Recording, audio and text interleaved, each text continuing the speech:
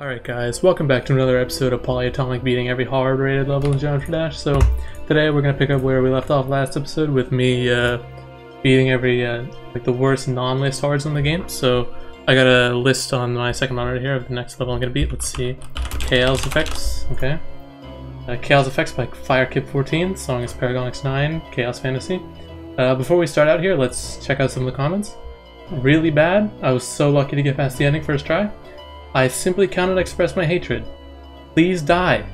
Bad gameplay. Rusty. Bored and stressful level to be honest. Bad level. This level is excruciatingly painful to play. The world would be much better without this level. Never again.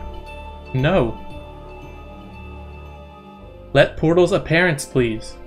This level is so great that I want to steal your kidney and sell it on the black market. Garbage. Well, overall it seems like this is going to be one of the better levels I played today.